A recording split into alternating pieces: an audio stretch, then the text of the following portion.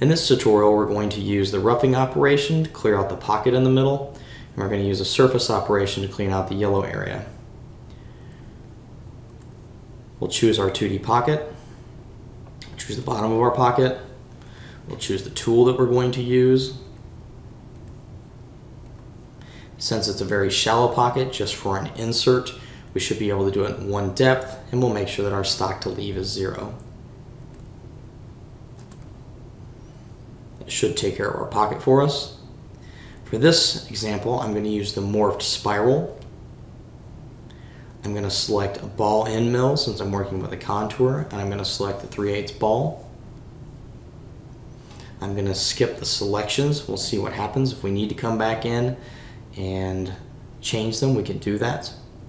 The one thing I do want to make sure is that I change my step over.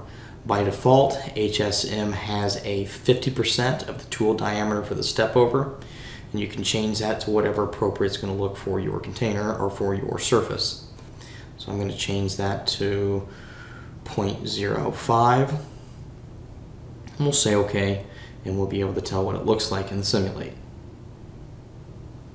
Now what you can see is I have the ball end going over a surface that has already been machined. So this is a time where I'm going to try to set up some boundaries to keep the ball end mill out of an area that's already been done. So the really nice part is I can come back in and I can change my contour selections right here. So I can either choose selections, I can choose silhouettes. For this one, I'm going to choose a selection. I'm going to choose the bottom or this top ring, either one of them as a boundary, and then I'm going to choose this ring. If you only choose one, the tool will stay inside. If you choose two, it will stay in between. I'll select OK, and now we should have our morph, our morph spiral in between those two selections. So now we should be able to have our end mill clear out our middle, our middle part, and then we'll have our ball end take care of the rest.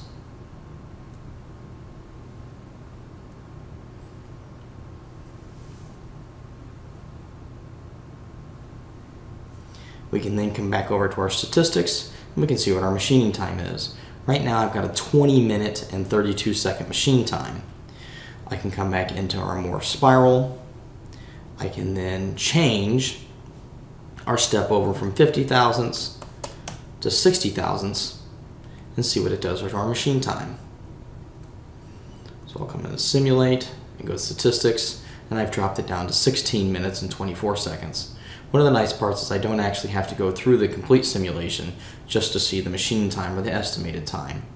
Now, I may see that that's too much for that tool to really go ahead and do, so I can add the last activity by going ahead and doing a pocket operation first, where I can rough it off, leaving a small amount on the bottom surface for the morph spiral to go ahead and take care of.